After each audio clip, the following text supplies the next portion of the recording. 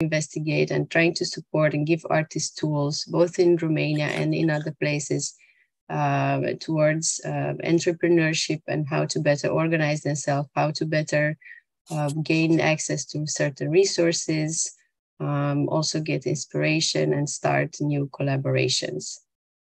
Um, I don't know if there is something else that I forgot, but I think um, as a very brief introduction,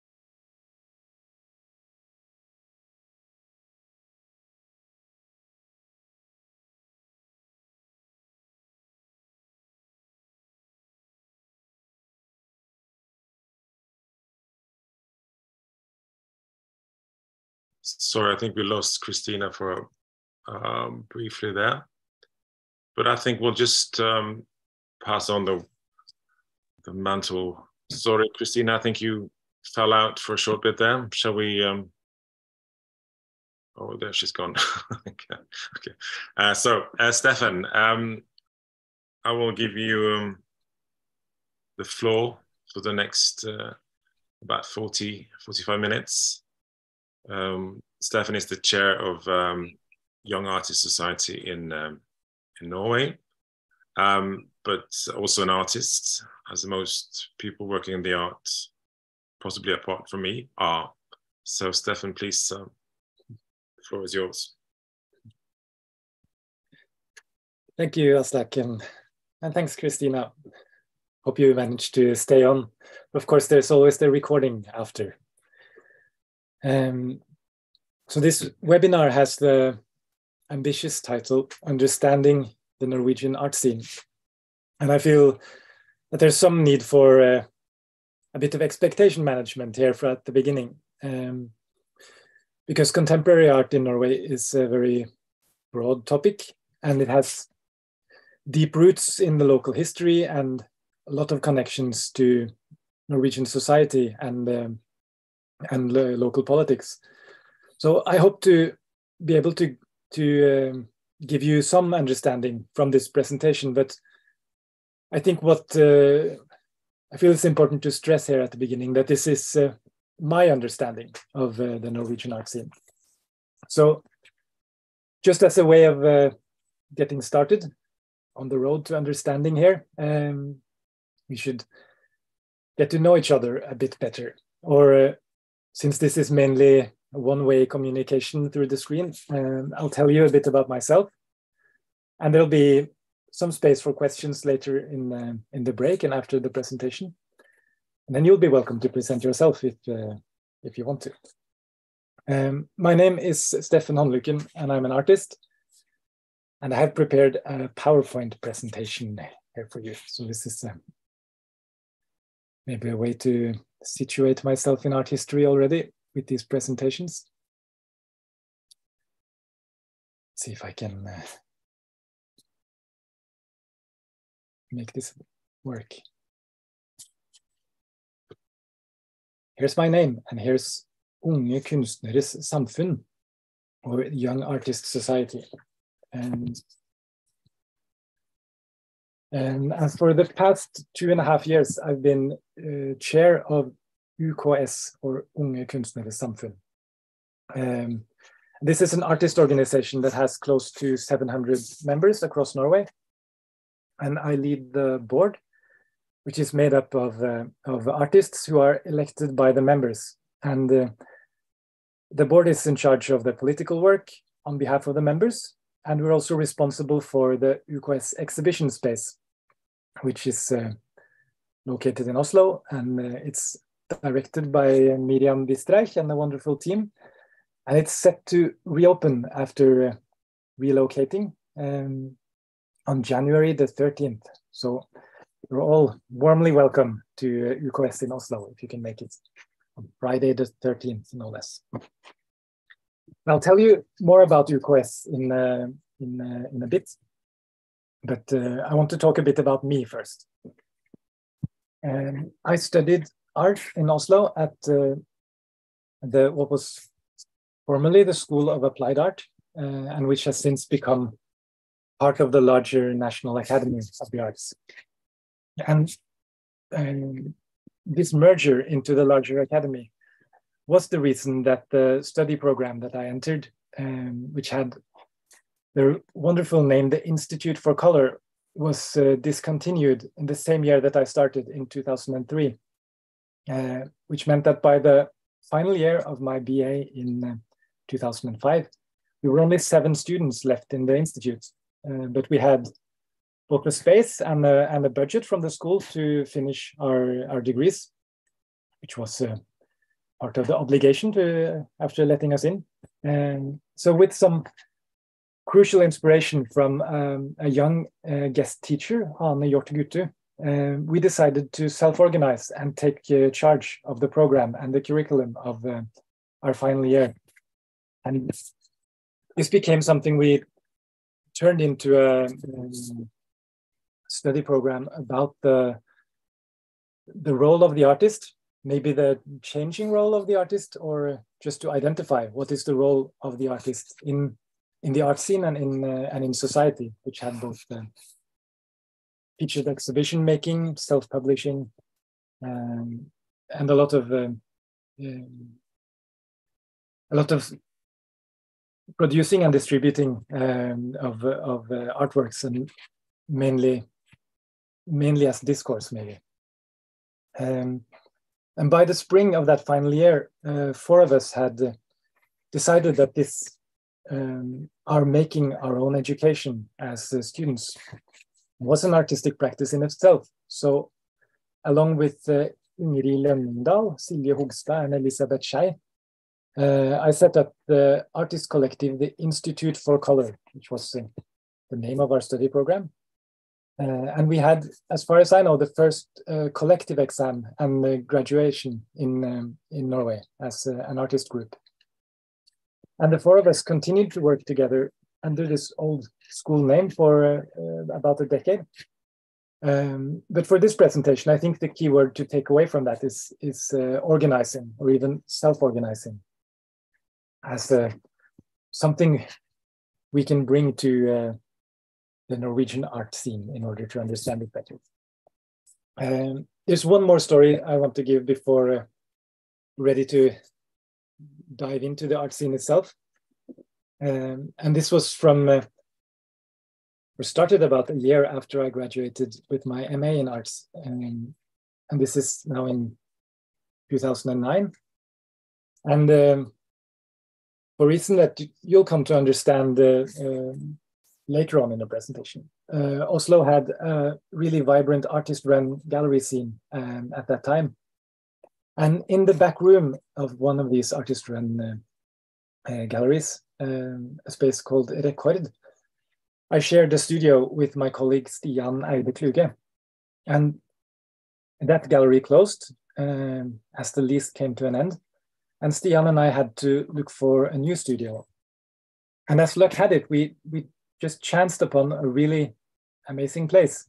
It was this tiny timber house with the green asbestos plated uh, exterior and the loud orange floral pattern uh, linoleum floor.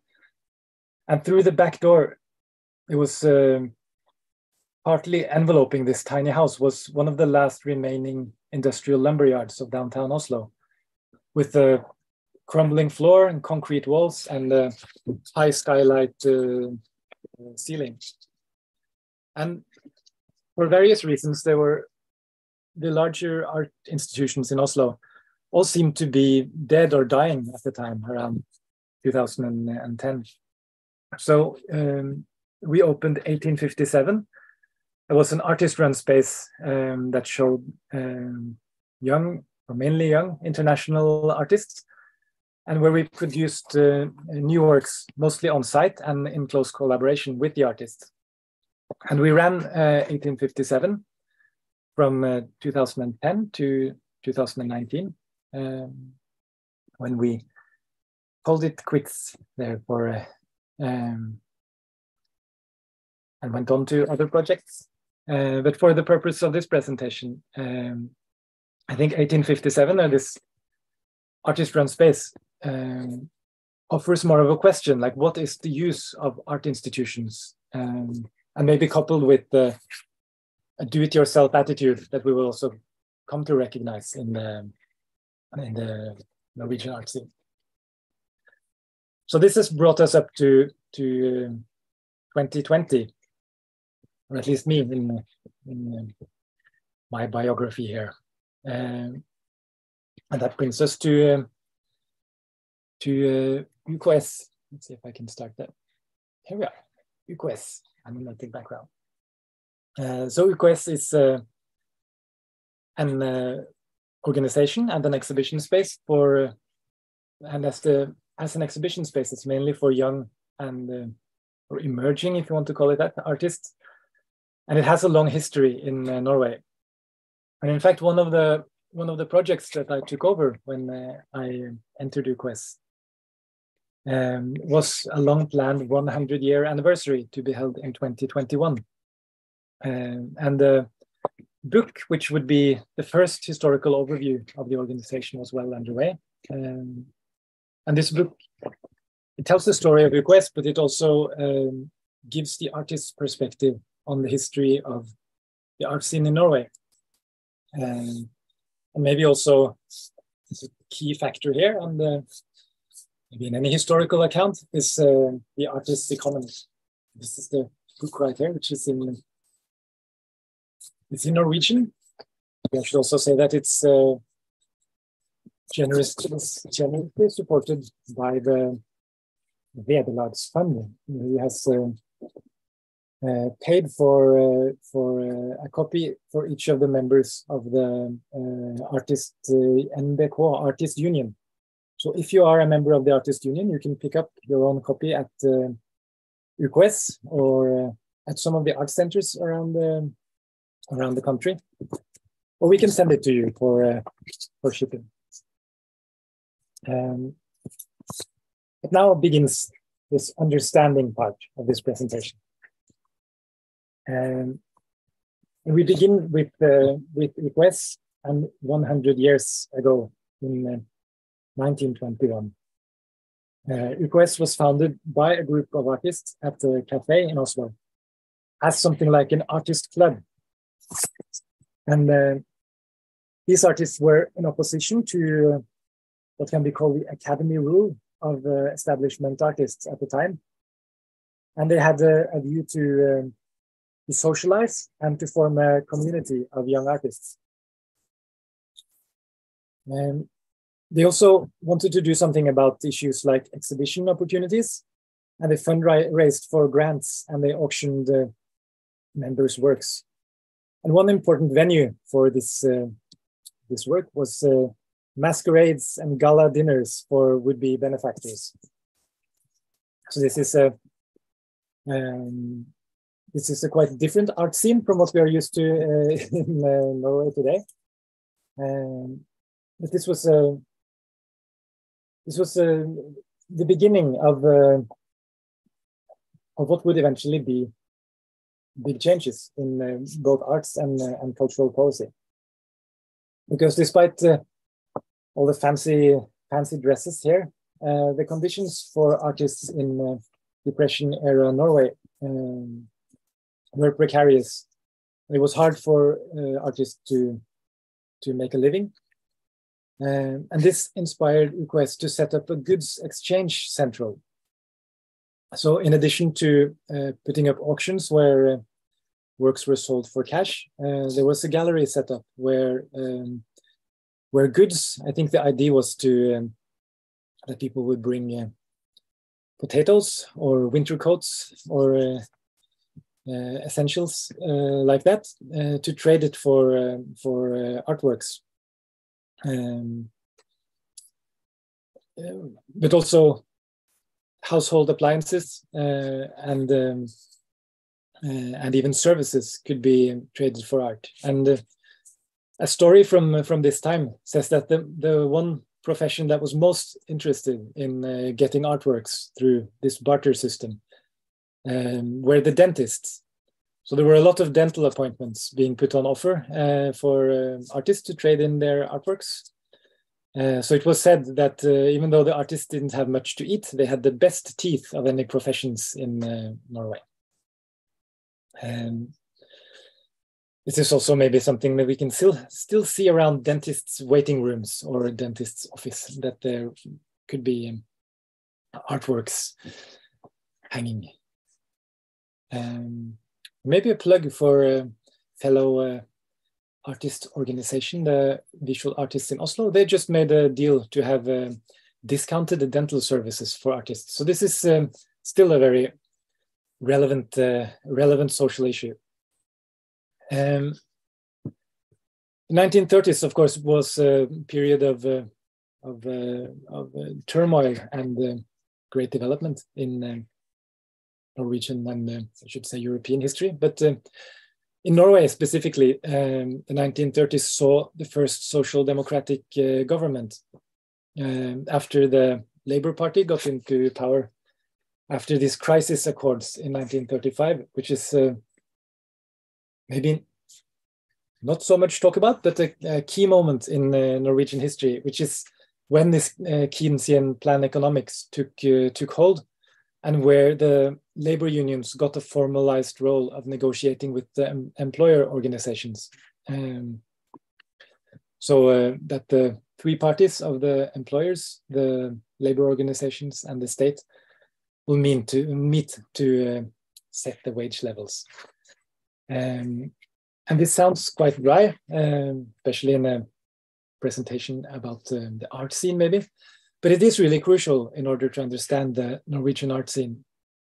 And this was also something that came to uh, define the further development of the uh, UKS.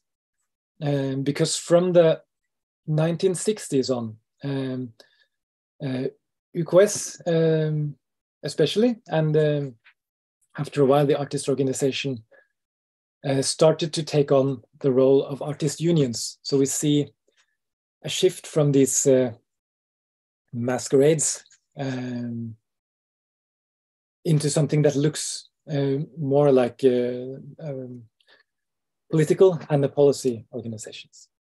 And uh, one of the things I was uh, very happy to learn about in this 100 year anniversary work was to talk to some of these older artists to find out what the inspiration was for for this uh, shift because I I think that it's um, quite surprising that you go from these uh, gala dinners to sitting down and having uh, union model um, negotiations about compensation. So I've been curious about what the inspiration was, and I found finally got uh, an uh, answer from um, the grande dame of uh, Norwegian uh, textile art, uh, Brit Fuglevaag. Um, and Brit was an, um, a, textile textile artist, um, a, a, weaver, um, but who went to um, went on on an uh, exchange to Warsaw, um, which had in in the around 1960, um, maybe the most progressive or, or avant-garde um, uh, textile art program in uh, in Europe, as, I've come to understand it. I'm not expert in in textile uh, in textile art. Here, I'm leaning on maybe uh, Brit's own story about her uh, her biography. But what's crucial here is that she she returned to Norway as as a young artist and and uh, set up her her practice and became a and, uh, fairly fairly well known um, young artist artist working in the medium of textile and this landed her um, a gig as a as a teacher as a young professor at the, the school of applied arts in the textile department. Um, and she wasn't much uh, older than than the students so this meant that she uh, both had a strong connection with them, and she also had a, a strong sense of of uh, maybe fairness or uh, or uh, of uh, a desire for this workplace to be a bit more organized because the teachers came and went. They all there were no contracts in place as we are maybe used to as artists nowadays. Nowadays, but educational sector is a bit more formal than um, um, than much of the art world. but at the time, the teachers came in and did their uh, they did their did their courses, and they got their little uh, um, pay, like their their pay at the at the end of the week from the from the principal's office. But there were um, two employees who were steady employees through the through uh, throughout the year in the School of Applied Arts and in um, and in the, in the Art Academy, and that was the um, the live uh, uh, drawing the live drawing models, so the nude models for the drawing classes, which was a daily part of the of the Art Academy program, uh, and there were these two also quite famous figures after a while. Um, uh, Maurice at the Academy and Lotte at the School of the Applied Arts. Um, uh, and they also got their their pay just uh, sort of in cash and with no contract. Um, but their problem was that the school year is only um, 10 months. And then for the holidays, they didn't have any pay. They didn't have any any rights to holiday because they didn't have any contract. And this wouldn't do, Brit said. So she managed to set up an, an, um, an NTL union, uh, a union in, in the school, and, uh, and Maurice and Lotte enrolled. And then she got uh, some of the representatives from the from the main labor union to come along to a meeting with the Ministry of Education to say that here are some employees who don't have contracts, they don't have fixed wages, and they don't have rights, and you need to you need to sort you need to sort this out. But she says that she met a very dismissive uh, uh, bureaucrat in the Ministry of Education who said that, bah, these art schools, there's no like, what's the need for artists, and why do artists need to draw people anyway? Can't you just draw some fruit baskets or something?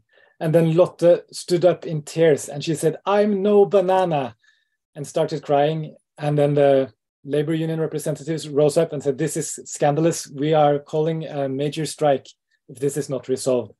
And then the Ministry of Education person said, Well, well, we don't want to risk any trouble like that over to to uh, uh, two models. So we'll get the contract, and they uh, and they got the fixed employ employment. And the union was set up, and Brit says that just on leaving that meeting, she thought, "Is it really that easy? You just formalize your uh, your uh, your organizations, and then you make your demands, and then and then you are heard because you have uh, you have the right on uh, on your side." So this uh, organizing can lead to to uh, to change, and it often has. And I want to uh, give some examples about how artists organizing has shaped uh, the Norwegian art scene. Because this structure really does more to uh, define the Norwegian art scene than any account of, of uh, artworks or artists or, or institutions um, will do. Um, and I'd also argue that to understand these frameworks, it's necessary to understand this, our current situation as, uh, as artists and also the the, the future potential or or uh, the future outcomes of um, of art in Norway. And um, see,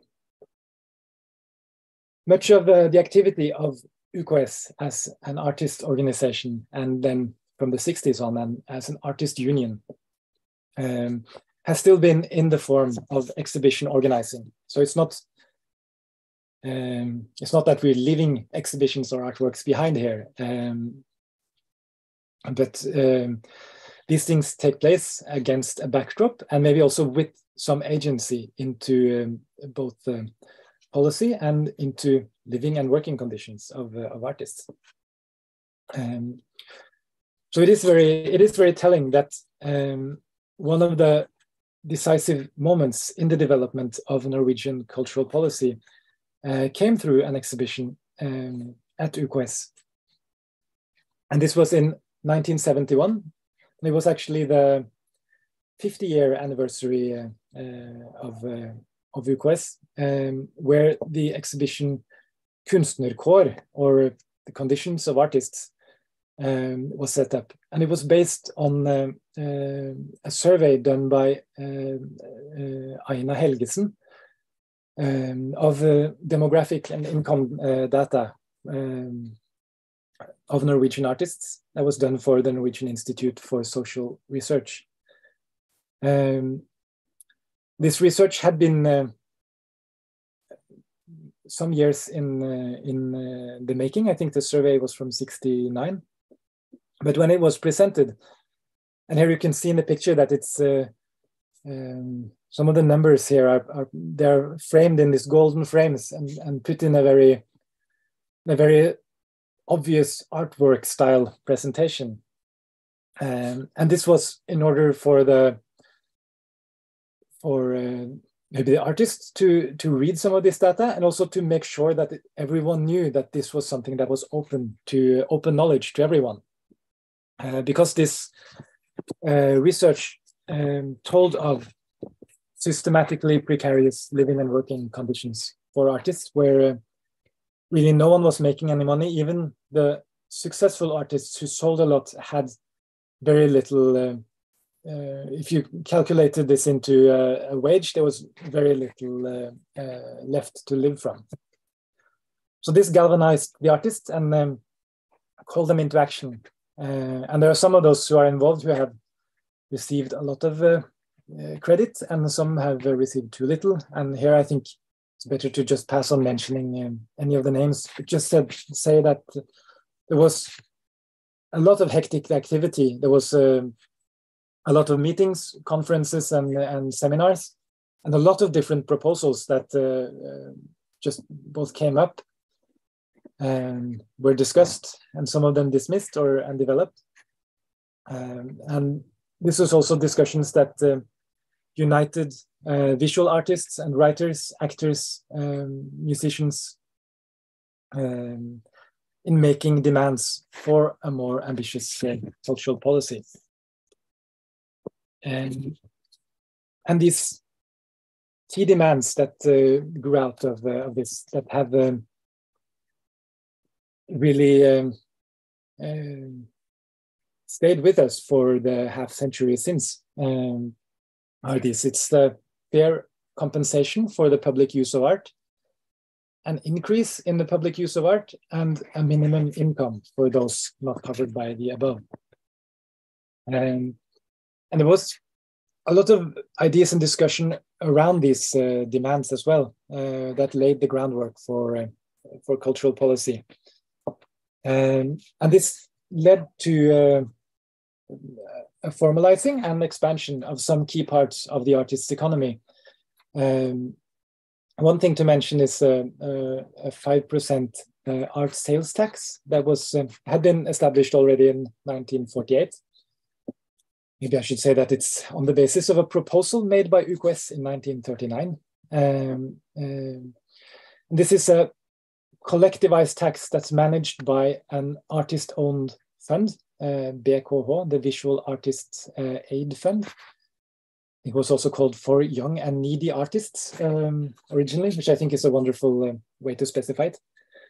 Um, but this is uh, uh, grounded in legislation, so not in not uh, in cultural policy uh, directly, and it goes uh, into then a fund that's owned by the artists. And then there's another important fund for um, copyright fees, or Vederlagsfondet, that came later in 1985. Uh, but this is also based on this idea of a collectivization of artist rights. Um, and in this case, it's the copyrights for works that are owned by the state and exhibited to the public, uh, where the artist unions negotiate for a compensation uh, fee, which is then distributed uh, uh to artists uh, through a fund.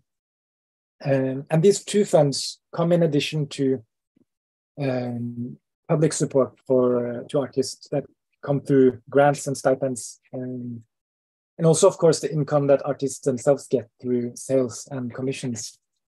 Um, but this means that about two thirds of the of the grants that are available to artists in Norway come through funds that are owned by the artists um, in a collective way. And one important effect of this is that uh, that, uh, that artists uh, elect our own uh, stipend committees.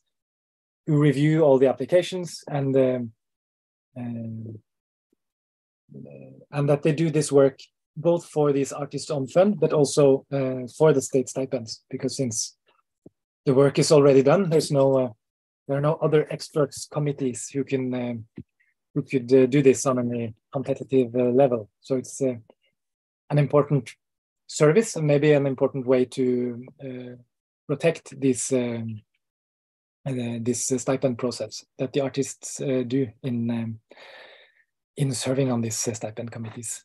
Um, but this also means that all the these uh, artist stipends um, are granted by a committee of artists who are elected by the artist unions, which again means that the artist union membership is high since it uh, offers real influence. And this is quite unique, uh, even among the Nordic countries.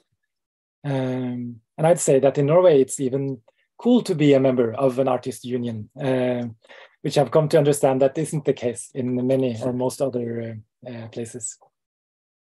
I would say that, of course. Um, but the key to this influence um, is for the artists um, to organize, of course, but then to identify parts of the art economy where we as artists have ownership or some sort of legal right that can give us the basis for negotiation. So copyright is uh, one such right, uh, and this uh, droit de suite or this uh, tax on art sales, which is um, in Norway also on the, the primary art market, or the works of art that's sold by the artist directly. Uh, contract law would be uh, another. There could be various uh, conventions or other things that bind the state where artists are, are parties and can and can negotiate. Uh, and I think this would be key for artists to organize to better their conditions uh, anywhere, um, which I think is uh, uh an uh, optimistic part of our times is that there are artists unions and artist organizations being set up throughout the world in order to counter precarious labor conditions and social conditions. Um, and also the key to making these negotiations is, of course, that we are able to set up something where we can um, negotiate um, collectively. Um, and this is a lot of uh, this is a lot of work, and um, it, it is um, challenging to organize individualists, as artists often are.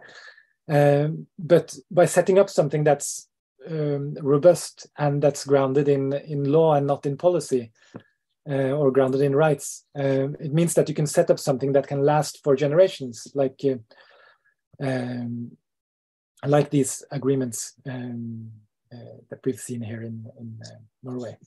Um, maybe I should mention also now um, before the break the the, the third of the, these uh, three point uh, demands that's more of a sad story in the Norwegian context is minimum income for those uh, uh, not covered by the increase in compensation and, and sales. Um, but it is a really key demand, uh, especially considering this post-pandemic uh, economy. I think this is something that we could uh, we would do well to give more attention, both both on on the artist union side, but I think also as uh, as artists and and as uh, uh, societies. I think I will get more into how this uh, uh, groundwork or framework has shaped um, the institutions um, that make up the Norwegian art scene. Uh, but maybe this is a good place to take some um, to take some uh, questions um, or maybe to start to uh, yes. Yeah. Thank you Steffen. Um, uh, there was a question in the chat let me see um, if i can find it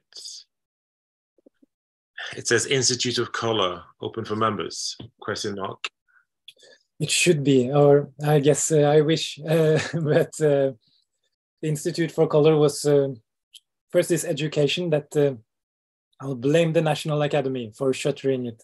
So that means that the artist group was only made up of um, the four of us, of artists who carried this heritage on. Uh, mm. We did our uh, final like goodbye exhibition in Rogaland Kunstsenter in 2015.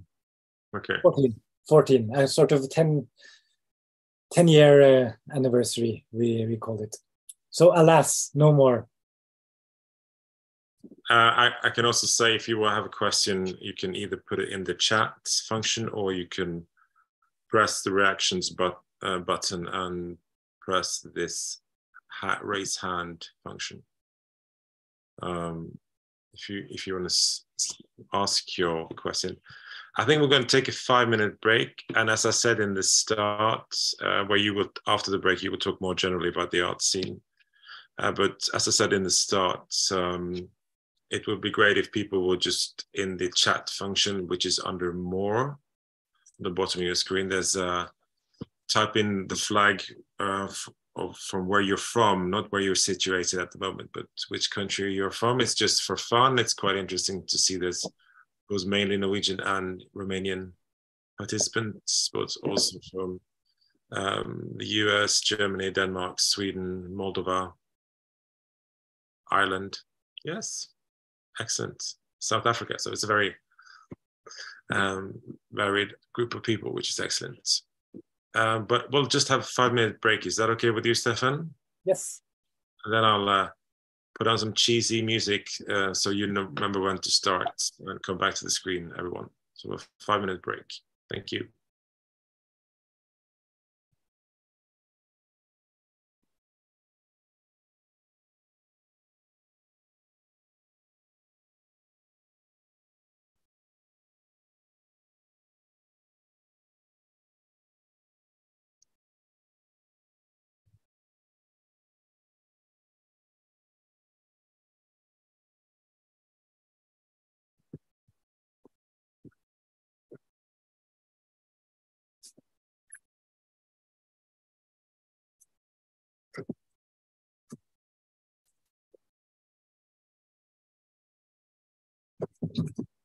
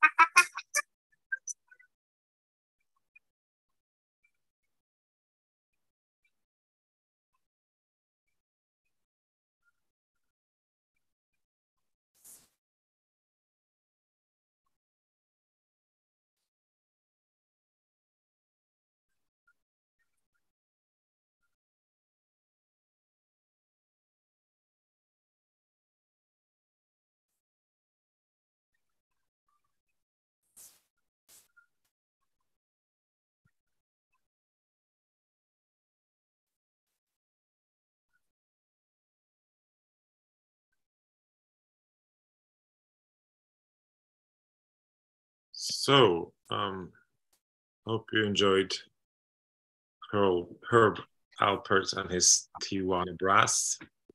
That used to be the um, the music at Norwegian um, cooking shows on television when they were showing the food uh, in the um, in the cooker. Okay, Steffen. Um, let's just start um, part two. Thank you. Yes, thanks. I didn't hear any uh, of the music, but uh, I've heard it before. I can I can imagine. Yeah, you can imagine. and I hope we. Um, um, so the the section between the uh, break was quite. Uh, um, I guess kind of uh, abstract to uh, what is uh, going on in uh, the Norwegian art scene in terms of uh, in terms of artists and institutions. But of course, the um, how to how to make how to make a living and then how to make your work is um, key, key concern for um, for all of us. Um, and I think the the foundations of these um, conditions also do a lot to shape um, what what can exist and what what we can do uh, as artists. Um, now this part will have maybe the more of a, of a form of a list because um, I would like to go through some of the uh, some key institutions and some key uh, some key actors in the Norwegian art scene that uh, define or, or shape it in, in various ways. Um, that means that there won't be so much time to go much into detail about uh, any of them, but uh, I'm also happy to um, uh, to take questions or uh, or uh, offer um, any insights that I might have about how these things are connected and uh, what use they are to um, to us as artists or or as cultural workers. And see, there you are. And a lot of this will uh, take the form of um, websites for the purpose of this um, presentation. And then it's also easy for you to find uh, to find more information or to get in contact if you need to. Um, the um, Arts Council is, um, of course, very current whenever there's an application deadline. Um, it's the it's the, the, it's the top thing on my to-do list, at least. Um, uh, but the Arts Council is also something that comes out of this uh, um, uh, this uh, foundation of uh, cultural policy in Norway. So it goes back also to the 1960s, which is when when governments um, across Europe took more interest in cultural uh, policy as uh, as an important policy area and not something that was um, to be left to philanthropy or to private markets um, to uh, to um, to sort out. Uh, and the Arts Council is um, um, is uh, set up as uh, an advisory board, as it says um, here, and what we as what we like to call an an arm's length to uh, uh, the Ministry of Culture. So it's uh, a government agency, um, but it's not supposed to be governed by politicians or by um, political concerns. Um, of course, just having an arts council in itself is a quite political concern or political act.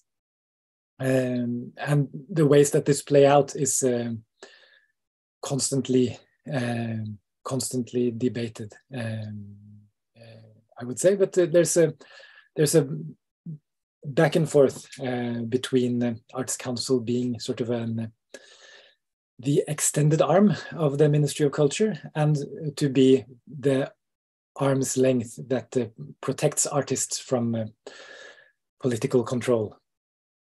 Um, it was set up in 1965, and uh, at the time there was a fund, there was an an art fund that was set up to uh, be distributed among uh, all the arts, so uh, including music and literature, theater, as well as visual arts. Um, the fund at the beginning was 10 million kroner.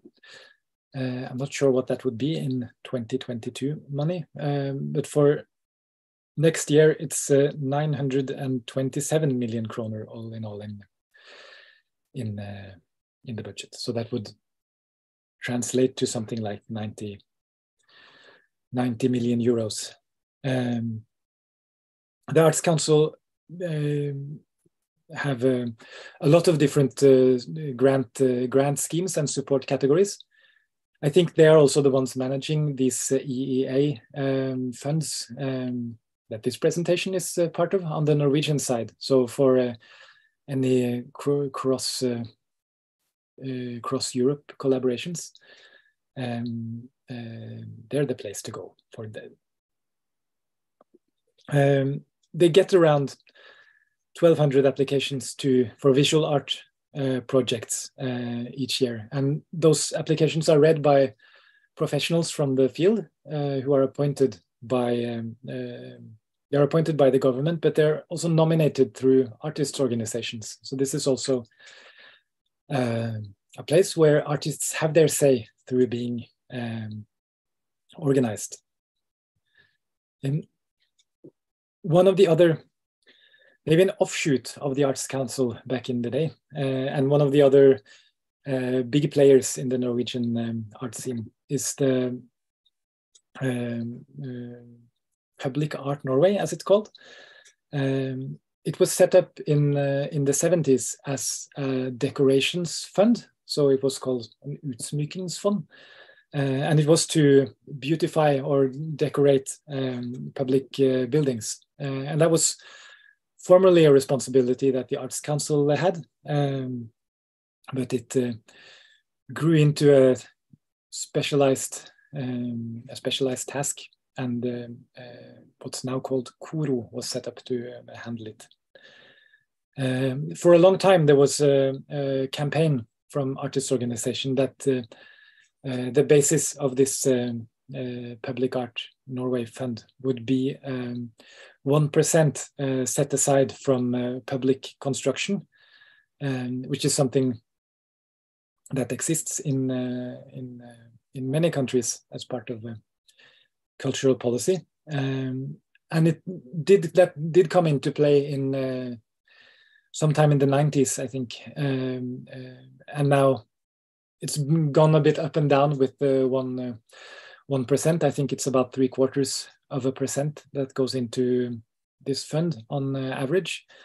Um, but also the way that the public buildings are constructed and financed now is uh, uh, more complicated than just putting up a building and having uh, a mural uh, done on site. Um, so there are um, uh, both the temporary projects in public space, and there's also a collection that's used for public buildings uh, in um, that are leased temporarily. Um, that's uh, owned by KORO. So they're actually also a big uh, buyer of of uh, of art artworks.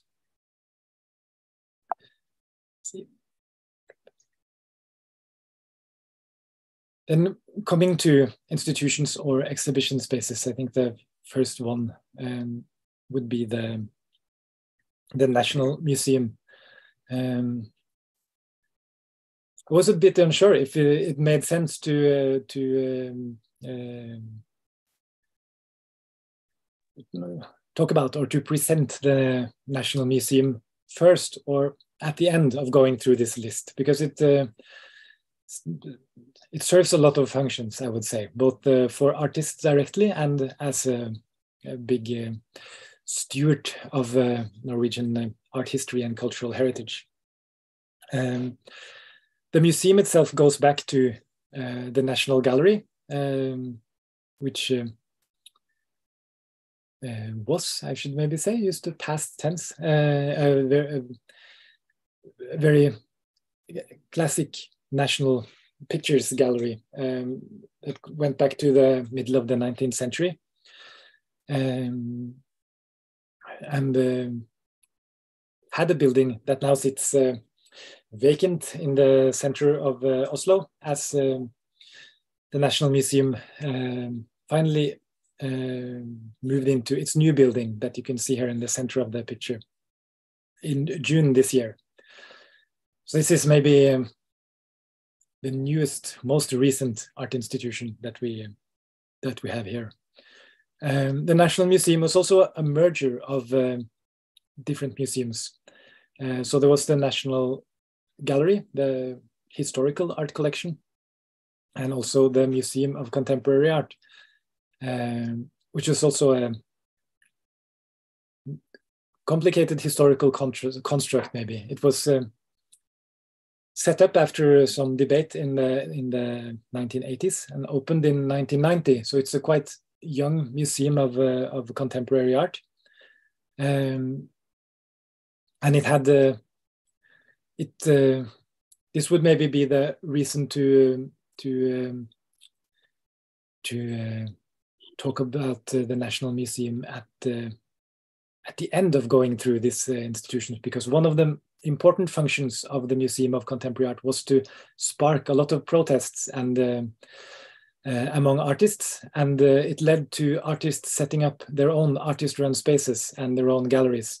Um, maybe especially in response to a policy in the beginning to uh, not collect video art, for example, was a very good reason for the many young artists working with video art in the 1990s to set up their own exhibition spaces, um, which of course became uh, as defining for that uh, decade in Norwegian art as um, the Museum of Contemporary Art itself. Steffen, can I just um, add quickly? You might uh, speak to this later, but it's important to know that with um, the funding in the Arts Council does not go to like the National Museum because that's on on the state budget or on the cultural department. You know. Yes. All these major institutions are funded through that, and not through the uh, Arts Council, which is more directed towards um, smaller organizations and artists. Yes. Yeah. Thank you and um, maybe that's also worth uh, saying that's another level of this uh, where this uh, policy decisions get uh, made. Um, the national museum now is uh, of course a massively expensive uh, project as well. So in talking about the the funding that goes into it the the arts fund or the arts the fund that uh, the art council um, distributes is uh, about uh, a billion kroner. And the national museum is also about a billion kroner budget every year. So slightly more to operate this one museum than what the arts council itself um, um distributes uh, but the national museum goes uh, they um, they go are directly funded over the Ministry of Culture, but uh, they are an independent uh, museum with with their own with their own board and uh, should also have an arm's length to the politicians so that there's no direct political control over uh, what they buy or what um, what uh, uh, exhibitions they put on and and so forth. Um, which is good, of course, in freedom of speech terms. It can be frustrating when you think, as artists, that they're doing the wrong thing and you want them to do something differently. Uh, it's hard to appeal to the politicians to change uh, to change it around. You have to apply to their uh, honesty and sense of professionalism, um, which we, of course, um, try to do as much as we can. But speaking of this, um, um the cultural budget, there are uh, a number of other uh, museums that are uh, funded through the Ministry of Culture and under the the cultural budget directly. Um, and uh, these are also uh, museums that operate independently, but ma mainly through uh, public funds. Um, and um, there are regional museums, like in Oslo, there's uh, Munch and Vigeland uh, museums um, uh, set up on municipal or the city's art collections. And there, there are the Kode art museums in, uh, in Bergen. That's uh, another big merger, uh, but based on, uh, on collections that are held held by by the cities or institutions in the city. And there are regional museums um, in in Trondheim. There's a new merger of museums going on uh, there, uh, as well as a new public and private uh, museum being set up in Kristiansand, and museums in Stavanger, Tromsø, Lillehammer, and a number of others um, around the country. Um, and then they're also on this, or maybe also should mention here that there are also some uh, institutions that are built on private collections that uh, uh, either call themselves museums or they operate as museums, or there are some combinations that they either operate or call themselves museums or some uh, combinations that are also scattered around the, the country that are sometimes um, sometimes get some funding over the the, the public uh, budget, but uh, but often uh, mainly privately operated. Um, but on this regional level, there's also um, uh, some independent institutions or uh, um, uh, institutions that some various ways are supported by both both state and municipal levels, um, but that have their own their own uh, uh, boards and their own uh, their own histories and re reason to be. Some uh, some of them are, are listed here as the Kunsthallene in Norge, the Kunsthalls in Norway. Um, some are not part of this uh, uh, umbrella organization. And maybe worth uh, mentioning first, um, the Kunstnernes Hus, uh, which is an artist-owned um, kunsthall in Oslo that was set up in by artists in 1930 um, with um, with a be benefit auction and a fundraiser to uh, for the artist to raise fund to um, to build a, a building for art in uh, near the royal palace in Oslo. Um, and there's also in the same neighborhood in Oslo there's uh, Kunstnerforbundet, which is uh, also a kind of hybrid artist-run space, which is owned by uh, artist shareholders um, uh, who collectively own the own a building and um, they put up a number of exhibition, also with some uh, with uh, public funding as well, um, but um, but um, mainly through sales. And in Bergen, of course, there's the Bergen Kunsthall, uh, which is the a former Kunstforening, like some of these other Kunsthalls uh, here, um, that then set up as what's uh, a common model in, in Germany, at least, is what I think about. Always here in this Kunstverein, I hear this German Kunstverein, which is uh, set up by people who are interested in art and who are interested in making exhibitions and maybe also collect, collecting and following art uh, historically. Some of these are very old um, associations or, or um, forening, and they are very widespread among uh, uh, around Norway. Uh, but a few of them are very big, as I could call uh, Bergen Kunsthall, uh, and maybe also some of some of these here would qualify as um, as very big and quite his and quite uh, with quite long histories.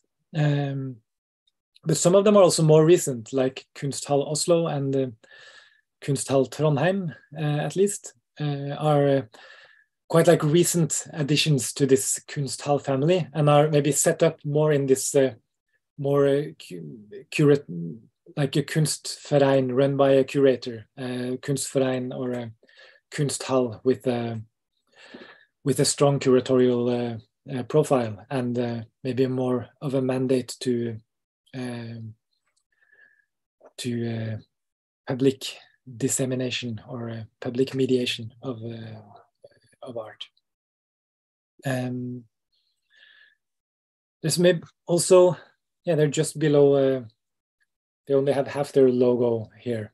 Um, uh, but it's also worth mentioning as one of these Kunsthalle is um, uh, or the gallery for photographers um, that was set up by uh, FFF, uh, the Association of Free Photographers, as they call themselves, um, which uh, was an arts organization that played a major role in establishing photography as, as a form of uh, contemporary art or as an artistic medium and not just a commercial medium in uh, in uh, uh, Norway. Um, and this is also a, a, way of operating that has put in place another number of art exhibition around the country, uh, which is the regional art centers. Uh, these are distinct from these Kunsthall or uh, uh, Kunstverein, uh, in that they are set up not by people who are appreciators of art, but by people who are producers of, um, of art. And they were established by the artist organizations in the 1970s. Um, and there are 15 of these art centers that are organized by KIN, the kunstsentrene i Norge. Um, here I might uh, have thought that the Fotogalleri, for example, might have been part of this, but they are not. They are a Kunsthall uh, here and more independent. But these are quite varied group of, uh, of uh, exhibition spaces.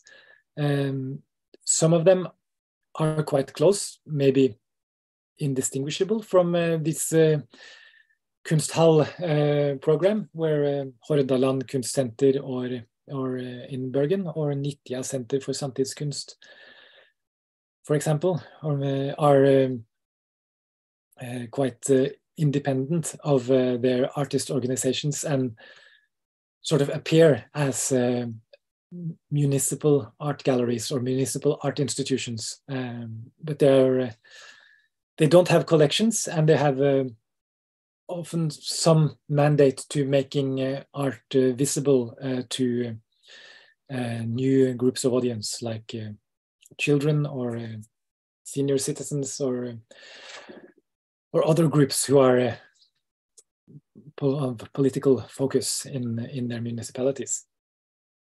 Um, maybe also a part of uh, a part of this uh, landscape could be uh, the art festivals and biennials that exist throughout Norway, like the Momentum Biennial that's in uh, Moss, uh, or Liaf in Lofoten, uh, or the uh, Bergen Assembly in Bergen. and there's also some art festivals that's like the Oslo Open or Be Open, where artists open their studios, which I think could be called art festivals uh, in a way, but uh, maybe uh, refreshingly sometimes without any curatorial statements or profiles. and there's also um, the annual Høstutstillingen, which is held at the Kunstnernes Hus, uh, which is um, an annual exhibition now running for some 140 something years, I think, um, which is juried by artists. And um, maybe coming from UKS again has been the source of much debate and much protests from artists uh, over the years. Um, but I think it's uh, kind of a, a, dear old relative in this family of uh, art uh, festivals. There's also applications open for uh, for everyone. I don't think you have to be based in Norway or Norwegian in order to uh, to apply. so that's a juried show with open call and some 4,000 applications, I think, every every year for the jury to sort out. Steffen, uh, yes. I just want quickly to say when it comes to the Kunsthalls mm. that um, every year in May um, in Bergen Kunsthall, that's the in connection with the Bergen Music Festival, that's the Festspill exhibition, and it's one of the sort of greatest, um, I guess, appointments you can get as a contemporary mm. artist in Norway. So one artist is given this um, six weeks uh, exhibition in Bergen which is always really renowned and it's really interesting to see.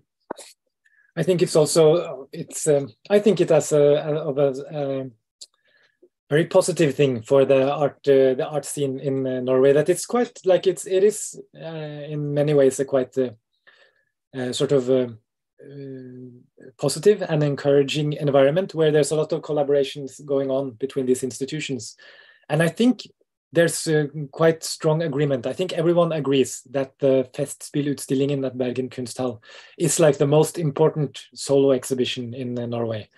Um, even if other other institutions might grudge it a bit, but I think they're all like oh, everyone agrees that this is the one thing that's uh, worth that's the the highest honor. So it's uh, and that's I think quite rare because it's uh, in many places there would be competition to have this uh, prime spot in the exhibition calendar. Uh, but it uh, sits firmly with Bergen Kunsthall and the Festspillutstillingen, I would say. Um, here it's also, um, uh, I would um, go amiss if I didn't promote uh, UKS and the UKS exhibition space. Uh, maybe also first to mention the other um, artist organizations um, that have um, that have exhibition spaces. Um, uh, and those would be the sister organizations of UKS that are all um, organized under the Norwegian uh, uh, the Norwegian um, Visual Artists uh, Artist Union umbrella. So this would be uh, the Sculptors Association, uh, Billedhuggerforeningen, Tegnerforbundet, um, SOFT for the textile artists, and the Painters the Landsforeningen for norske malere, Painters Association, and uh, printmakers, norske grafikere. Uh, they all have their galleries. Um, as does UKS, who's the only um, the only organization among these to not be uh, a medium specific artist organization. If you don't count being young as a medium in itself for artists. Um, this is an image of the of the new UKS space before renovation. Now it looks completely different, and it will look even more different on the 13th of January. But this is in an old uh, theater uh, downtown in Oslo, in Keisersgate number one. And again, you're all very welcome to the opening or whenever you visit um, Oslo. Um, there's also, and there are also some of the, the other sisters or uh, cousins in the artist organization like the Billedkunstnerne Oslo, uh, another artist union uh, around the country who have um, um, who have uh, uh, gallery spaces uh, set up. There are also a lot of artist-run spaces who that come and go. This is a map from the exhibition guide from Oslo, which is one one place to start. I tried to find the Bergen exhibition guide, but I think it hasn't been updated since before the pandemic, or it's a new. Correct. Yeah. If someone knows, they can put put it in the the the, the chat, maybe a, a link. Uh, this notes um, uh, both institutions and um, and galleries, and the A's here denote artist-run spaces that are scattered around town, uh, and uh, some also pop up um, more frequent than this map is uh, able to uh, able to to catch. Um, 1857 that, uh, that I used to run was um, of course one of these spaces when when uh, that existed, and there are some other long running spaces like Entrée in Bergen, who that was also part of a pilot program through the Arts Council to support these artist run spaces uh, with some operating costs to to pay um, rent and fees for for the artists, um, and which was which has been an important part of recognizing this um, this uh, artist run uh, scene. Um, maybe there was an ambition to professionalize it or formalize it, but I think the funding maybe stops a bit sh short of uh, of that.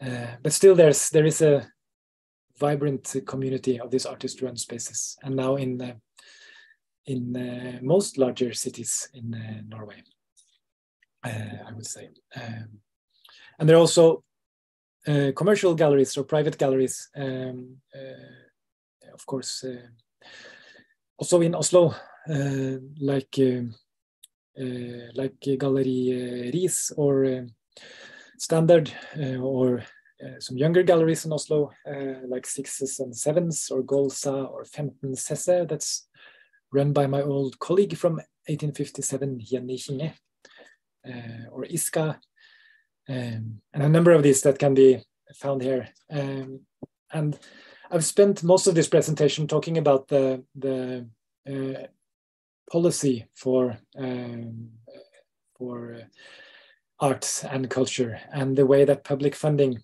uh, structures the, the uh, both the artists' work and living conditions uh, and and opportunities and institutions um, that exist. But there is an art market as well, um, and uh, I also promised uh, Aslak to to uh, bring this into the presentation as well. the the art market is about the same size as the national the budget for the National Museum. Um, maybe the National Museum themselves would say that a lot of their budget goes to rent that goes directly back into the state. Um, this is uh, the, the size of the art market of the art that's being bought through uh, galleries or directly from artists or uh, or through uh, auctions uh, in Norway. So it's money that goes directly into art institutions and art infrastructure and directly to uh, to artists. And it's also about uh, one um, billion kroner or about 100 million euros. Um, and it has been said that there is no market for art in um, Norway, and uh, that anything that's painted, composed, or written or played in the country is decided in agreement between the state and the artist organizations. Um, and maybe this talk has uh, played into that uh, myth, um, but it is not uh, true. Um, what is true, though, is that also the art market is uh, um, is uh, is regulated through this agreement of uh, the five percent tax, and it's also closely monitored by the Arts Council Norway, as you can see, um, who publishes every year Kunst i tall or art in numbers. Um, uh, by the uh, Rambøll consultancy firm has done this for, for the past years. And this means that both uh, we as artists and the policymakers can keep close track of what moves in, in the art market. Um, here we can see a large growth in the in uh, the pandemic years, and this is maybe also worth uh, noting that uh, um, as part of this quite robust art infrastructure, um, when the pandemic hit and the, the um, exhibition opportunities uh, disappeared, and there was uh, concerns about the, the, the art market and the, and the foundations or the basis for uh, for the galleries. Um, the government stepped in with the funding and stimulus package for uh, for arts and uh, culture during the pandemic. And here the artist organizations as well were very quick to call for uh, stimulus that mirrored these same demands that the artist organizations have always done, that you need to buy more art from artists and artists need more stimulus to produce art and to get the fair compensation for the art um, uh, that's being done. And this was again the part where where artists uh, where policy came into being. Uh, so where artists did not get much social security or were able to get much of the compensation or the yeah the compensation that was put in place or the social security that was put in place um, artists did get a lot of uh, stimulus in terms of uh, extra uh, extra market uh, or extra buy-in. Uh, this also meant that some of the main policy goals of of the cultural policy in supporting public acquisition of artworks, so that um, uh, female artists or younger artists would get a larger market share. Um, uh, we saw a market increase in those policy goals to diversify the, the, the, the, art market from this stimulus packages. So the of this uh, um, art market in 2021, um, the female uh, percentage of uh, of the art market or the artworks that were made by female artists went up to 19%, which is still quite shockingly low for um, such a egalitarian uh, society as uh, as uh, Norway. But it, it did improve once uh, public funding got into the art market. So at least it at least it helps in this lopsided market. I think this was a quick, like a very quick run through of um, art institutions. Maybe another way to follow this that I should mention is um, is um, the art publications, uh, the criticism that uh, which is a way to follow the Norwegian art scene from abroad uh, and also to follow it from within Norway, of course, through uh, kunstkritikk.no, which is uh, again a publication set up by a union or a writers organization uh, to promote criticism of uh, or um, reviews of Norwegian art, and it has an English language international edition, um, and it is a Nordic publication, so it is a collaboration now between uh, Norwegian, uh, um, Swedish, and Danish um, editors. Um, also, the Artist Association uh, put out um, Billedkunst, which is not in English. Um, few texts are, are in English, I think. Yeah, yeah. few texts uh, are in English. Depending on the writer. Yeah. Yeah, and it's uh, it's recommended for those who either already speak Norwegians or Norwegian or those who want to learn by uh, looking at the pictures and following along. That's uh, um, a good way to to pick up uh, to pick up languages. Uh, Steffen, would you agree that there are sort of uh, three ways for Norwegian artists for for income through um, public or local funding, arts council, stipends, and similar, hmm. through the art market sales, and through public purchases.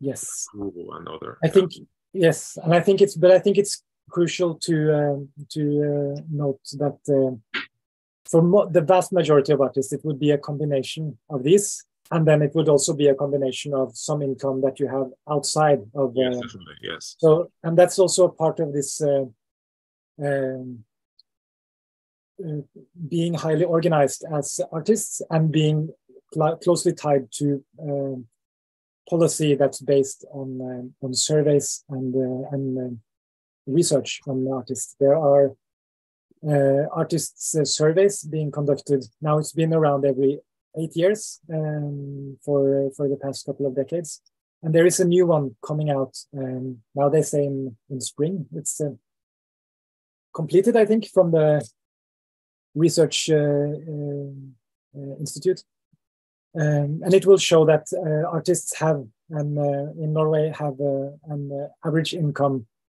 that's around 300, a bit more than 300,000 kroners or 30,000 uh, euros per year.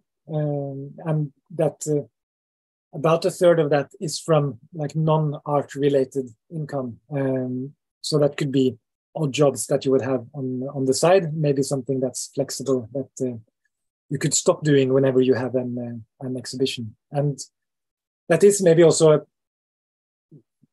crucial way for artists to set up um, for a young artist to get their practice going is to get into a position where you have uh, enough security that you can both continue your practice but also be flexible enough to use any opportunities that that come up.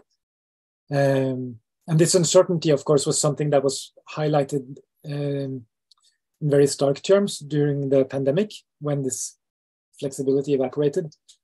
Uh, and that's um, also very, I think, uh, telling for artists who don't have the opportunity to do this, uh, either for health reasons or it could be for artists who don't have a, a residency permit. So artists who are from uh, countries outside of the, the European um, economic area, uh, who would need to apply for visas every year or uh, and uh, who have both quite um, high income requirements that are above the average income for Norwegian artists um, generally, um, but also would have to specify where that income comes from, who are put in a in a very um, difficult uh, situation compared to uh, Norwegian colleagues or European uh, European colleagues working in Norway.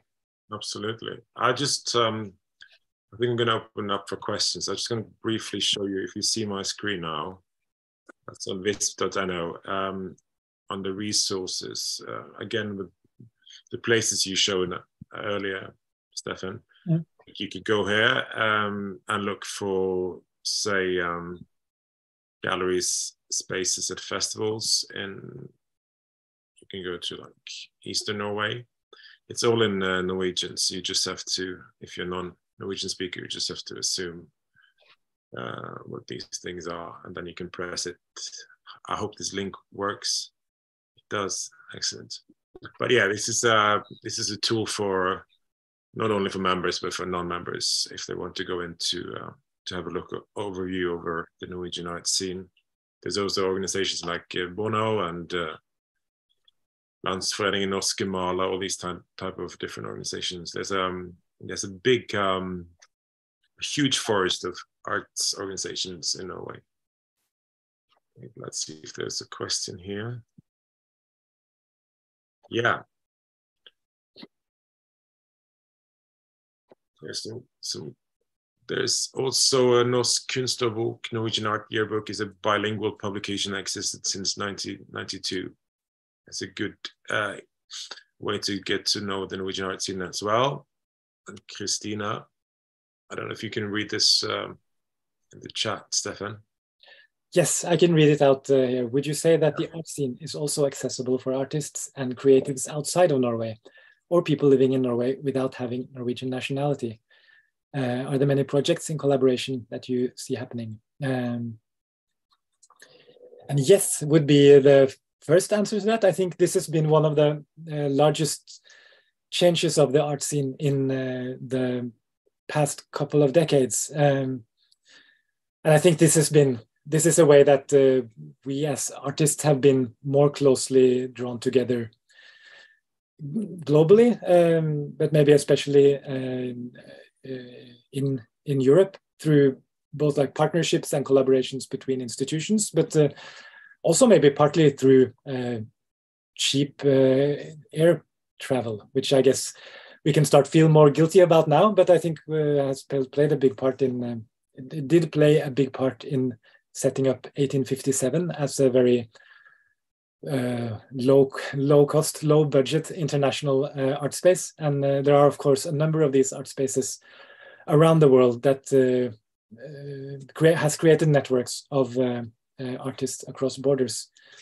Um, there's more for those who want a really deep dive into the into the workings of the Norwegian art scene. There's an art history written by uh, Jonas Ekeberg, uh, who now works at the Arts Council, called Post Nordisk, that makes the case that the development of the Norwegian art scene from, especially from the 90s onwards, was driven by the Nordic collaboration that sort of came came before this European or global collaboration through uh, Nordic uh, um, institutions uh, as the what's it called, Ministerråd, etc., where where the Nordic countries, including the Baltics, have uh, various uh, support schemes for mobility and uh, project support. Um, of course, the difficulty in like in saying how accessible this is is that as as this presentation that I've given now, it's uh, very like layered of different institutions that have different uh, different remits and uh, different histories and different mandates. Um, and in order to know how to navigate this. I'm sure that's the same in Romania as well. That uh, some local knowledge or sort of getting being educated or being sort of naturalized into this uh, does give you a big advantage in understanding what you're up to. Uh, but I think there is a, um, there is um, always a high demand both for collaborations that go across uh, fields, so across different art forms and across uh, borders. Uh, there's also always a big interest, both from audiences and from uh, other artists, and maybe crucially from funding bodies to make those happen. Can I also add that um, uh, in the art academies, there's there's an art academy in Trondheim, Tromsø, uh, Bergen, and Oslo, and um, there's a very sort of international uh, group of uh, students uh, and high high standard of, of teaching and, uh, and, so on. Also, there's no tuition fees, which is a big, especially to towards compared to Britain, for instance. There's no tuition fees. Maybe um, here's worth also noting that uh, uh, I mentioned these barriers to visa and residency permits for uh, non-European um, or non-EU um, uh, artists. And now there's a new, it seems to be a new law coming into place that would put tuition fees also on non-European students in higher education in Norway, including the art academies. So there would be no tuition for Norwegian students or for Romanian or European students, uh, but a lot of this internationalism or this uh, global perspective that has uh, existed in the art academies in um, Norway up until now is uh, really threatened by this uh, new proposal of uh, tuition fees. I see. So that's a that's a concern these days to end. Maybe we should find a happy question to end on.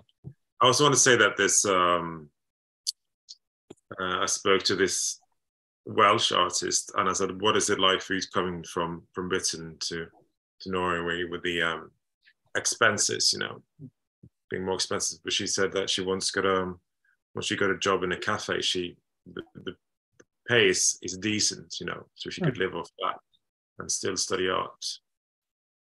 Hmm. Yes, that's also another non-European. There's uh, maybe for if there are any non-European artists uh, looking to set up in Norway, I would recommend the um, support network Verdensrommet, um, who, which is uh, not an organization as such, but a mutual support network of artists who are facing both uh, visa challenges and and uh, and other challenges to um, establishing oneself as um, artists in uh, Norway. Yes. Um, are there any more questions? I have put some um, some links in the in the chat for some websites and so on. Um, Christina, any questions from from the Romanian jury? Well, I just want to first thank Steffen a lot for the presentation. And uh, yeah, I was also looking and I am encouraging everyone, please, if you have a question, we have Steffen here with us and not every day. So just please shoot it in the chat.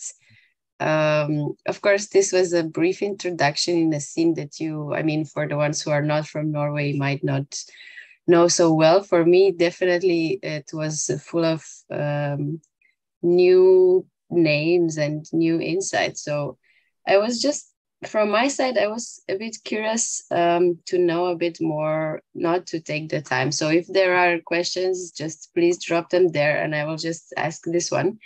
Um, about the artist run spaces, because you were talking about the artist run space that you you had and uh, because I think in Norway the system is in such a way that the, the um, institutions and all the um, public bodies are very well organized. Uh, I think that this might lead to fewer artist-run spaces, but I don't know if that's true. And I mean, how do they situate themselves in relation to the other uh, institutions? Because for example here the artist run spaces are very present and one of the core things of the scene. And i don't know i was curious how that works because also in the beginning of one's career like an artist might start with this to have an artist run space. It's something that he or she might think of. And um, just if you can a bit elaborate on that. I think there's a tradition it's a, a, a presentation or a historical presentation in its own right to talk about the artist run spaces in norway but i think there's a strong sense of tradition maybe coming from the 90s. I'm not really sure about the. Um, I'm not sure sure about the origins here, but but that there is a sense of this is something that you are in a way supposed to do as an uh, art, young artist, either recently graduated or seeking to seeking to establish yourself. That to uh, uh, either set up an artist run space or to exhibit in one or to help uh, making one happen is uh, is the way to uh, both form a community around yourself and uh, and to um, and to make your projects happen in a way because even though there are a lot of institutions there are still more artists um, uh, than than there are than there are institutions. Um, and also this there's this social function maybe that the artist run spaces uh, do feel that they they can both be uh, institutional in the sense that they do have an audience. They do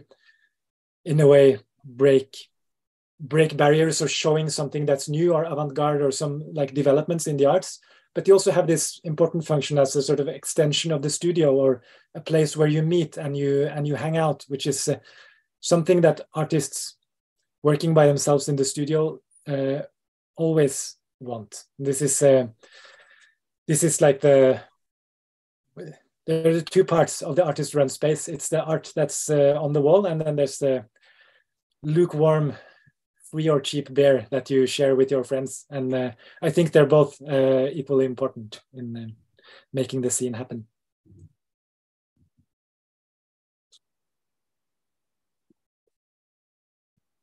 Great. Yeah. Um, you can um, if people have some more questions do you want to put your email in the uh, the chat Steffen yes. that's okay with you um, i don't think there's more questions um, but um, yes thank you yet again Steffen for a very good presentation there's um, it's funny there's so many things we could talk about but um, it is a long. Uh, it's uh, it's like a tall order to give a sure. overview over the whole art scene, and then you go come and say that you have the whole list already made out. So maybe I'm glad that I didn't uh, just read all the names I could think of aloud, um, which could also be yeah 90 minutes.